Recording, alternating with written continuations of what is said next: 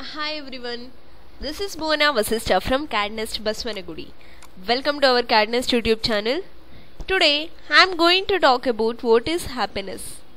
Happiness is an emotional state characterized by feelings of joy, satisfaction, contentment, and fulfillment. While happiness has many different definitions, it is often described as involving positive emotions and life satisfaction.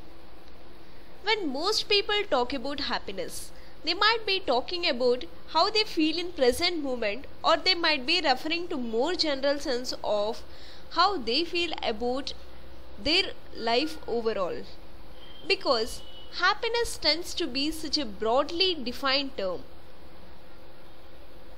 When they talk about this emotional state, just as it sounds subjective well-being tends to focus on an individual's overall personal feelings about their life in the present.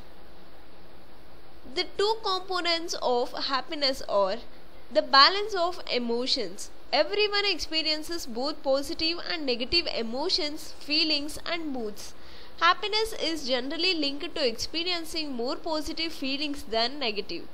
Life's satisfaction this relate to how satisfied you feel with different areas of your life, including your relationships, work, achievements, and other things that you consider important.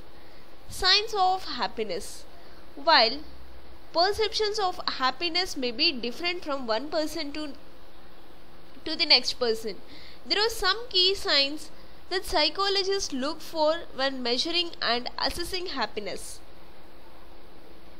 There are some signs of happiness. It includes feeling like you are living the life you wanted, feeling that conditions of your life were good, feeling that you have accomplished or will accomplish what you want in life, feeling satisfied with your life, feeling positive more than negative. One thing to remember is that happiness is not a state of constant. Instead of happiness, is an overall sense of experiencing more positive emotions than negative ones.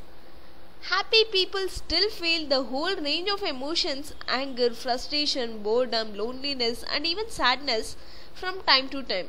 But even when faced with the discomfort, they have an underlying sense of optimism that things will get better, that they can deal with what is happening, and that they will be able to feel happy again. With this, I am completing my session here. Thank you.